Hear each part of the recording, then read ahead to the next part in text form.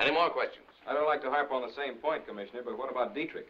If the past of this police department is... Lieutenant Dietrich's in jail, and he'll go to trial. He'll be tried by 12 citizens, the people for whom he's been working. Let them show justice or compassion as they see fit.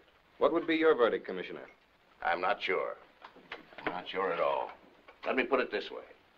It's not anything strange that there are corrupt officers in police departments.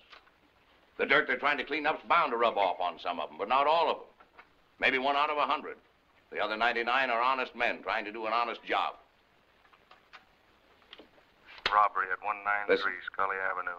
All units. Robbery at 193 Two Scully male Caucasians, Or 70 armed with blue steel. I know you're police reporters, and you hear this all day long, but I want you to listen to your conscience, not just your 230 ears. pounds, Wearing a brown felt hat. At 12, a shooting at 25 James Boulevard. Woman screaming. Car 1-2, shooting at 25 James Boulevard. Woman All units. Strong arm slugging. 3216 River Drive. We send police assistance to every one of those calls.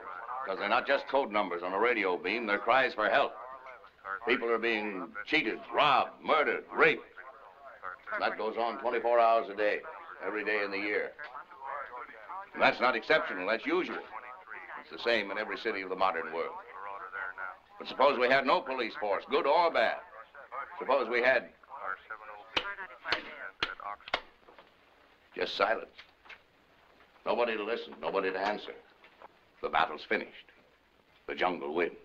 The predatory beasts take over.